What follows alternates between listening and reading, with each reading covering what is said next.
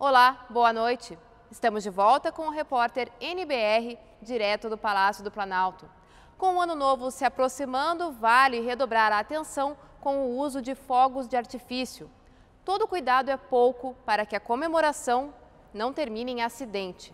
A Mauri é dono dessa loja de fogos de artifício há 17 anos. Ele conta que o movimento aumenta muito em datas como as de festa junina e ano novo. O crescimento nas vendas chega a 50%. Agora é essa época realmente onde o público vem comprar no varejo aqui em grande quantidade. Junto com o faturamento de lojas como essa aqui do Mauri no Distrito Federal, cresce também a quantidade de acidentes com fogos de artifício nessa época do ano. Por isso é sempre importante ler o rótulo dos produtos e sempre comprar em lojas lojas certificadas pela Polícia Civil e pelo Corpo de Bombeiros. Outras orientações para o uso de fogos de artifício são: sempre respeitar a faixa etária indicada no rótulo do produto, devem ser usados a uma distância mínima de 30 metros de outras pessoas e de edificações, não soltar fogos debaixo de árvores, marquises, rede elétrica e locais fechados, ter sempre um recipiente de água por perto para colocar os foguetes já usados ou aqueles que falharam para não haver risco de novas explosões. Nunca manusear os artefatos sob o efeito de álcool e evitar guardar os fogos de artifício em casa. Mas, se isso for preciso, eles devem ficar em local seco e longe de fogões, isqueiros e do acesso a fumantes. Mexer com fogos de artifício, você está sempre correndo um risco, né? Porque ali tem material explosivo, sempre tem pólvora, alguma coisa desse tipo. Mas se você adotar as medidas de segurança, é provável que você tenha uma festa sem, sem maiores problemas, que você mantenha toda a sua família em segurança e ali seja somente um ambiente de descontração, de felicidade, né? Minimizando os acidentes, que é isso que a gente mais espera.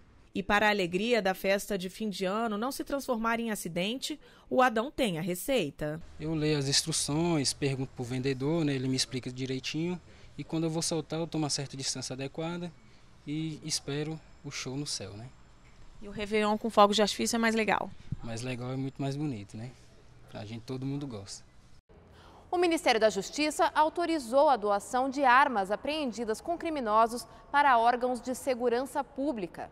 Os investimentos somam quase 52 milhões de reais e incluem a aquisição de 523 coletes à prova de bala, 2.337 rádios de comunicação e 125 veículos especializados para transporte de presos. Não é nada mais do que a obrigação que o governo federal auxilie, é que o governo federal repasse os recursos necessários para o estado que tem o maior número de presos na federação. A Secretaria de Segurança Pública Paulista recebeu a doação de equipamentos e armamentos utilizados durante os Jogos Olímpicos no Rio de Janeiro. O material inclui 6 mil munições para pistolas, 6 fuzis, aparelho de raio-x portátil, detector de substâncias explosivas e até um robô antibomba de pequeno porte. Nós, atendendo ao governo federal, eh, liberamos mil policiais no período da Olimpíada para ajudar o Brasil naquele momento,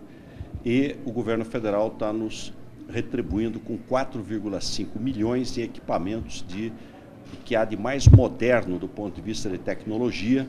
É diferentemente do que era feito anteriormente na Copa do Mundo, onde o legado era é um prato feito é para todos os estados, o mesmo legado, é, precisando ou não. É nós, em relação a todos os estados, e aqui em São Paulo não foi diferente, nós alteramos isso é, pedindo e dizendo para a é, Polícia Militar escolher, dentro do valor que lhe era é, correspondente, escolher o que estaria precisando. O ministro da Justiça destacou ainda um decreto autorizando a doação de armas apreendidas aos órgãos de segurança pública e às Forças Armadas. Disse que o governo considera a medida importante para o fortalecimento das polícias e que vai trazer economia aos cofres públicos. Só de fuzil é, já haviam sido apreendidos esse ano, há muito mais no depósito do Exército, mas só esse ano 873 fuzis.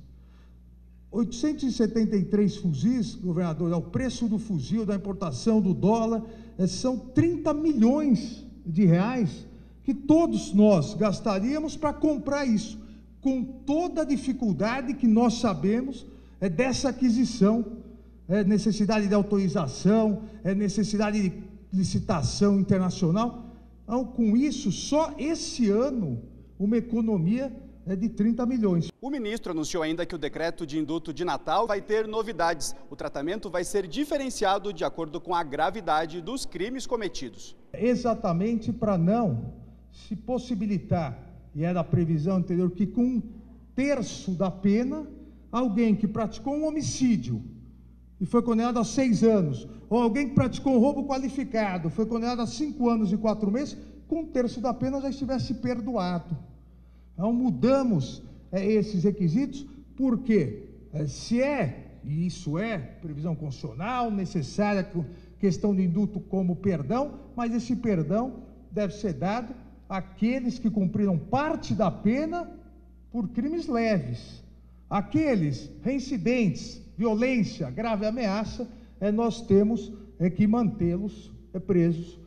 E nós ficamos por aqui. Voltamos a qualquer momento com outras informações. Acompanhe as novidades pelas redes sociais. NBR, a TV do Governo Federal.